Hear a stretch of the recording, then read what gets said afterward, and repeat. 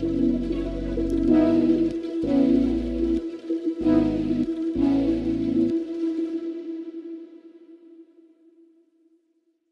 to another video of Tsunami 67.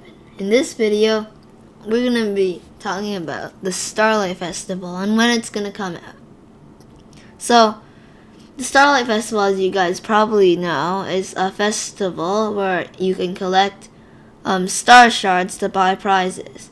Now, this Starlight Festival started in 2016 and um, it's um, went up until uh, um, the 2021. So there wasn't it last year. We're not really sure if there's going to be it this year because they had it in these three years, three years in a row. But there was a gap between this year and this year. But so hopefully they'll bring it back. So also the Starlight Festival has occurred in many different months, not only the same months like the other festivals.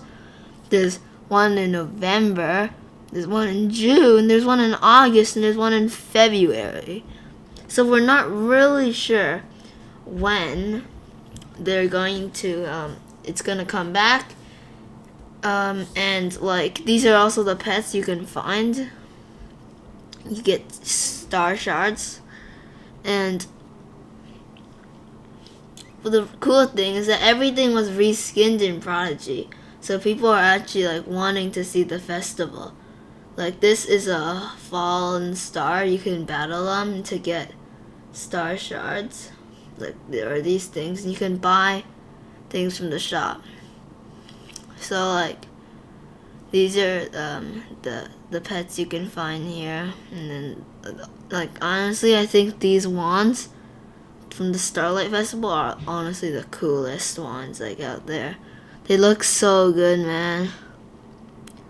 They look pretty good, but like, maybe not the best, but I like the style of them. Like, see these ones?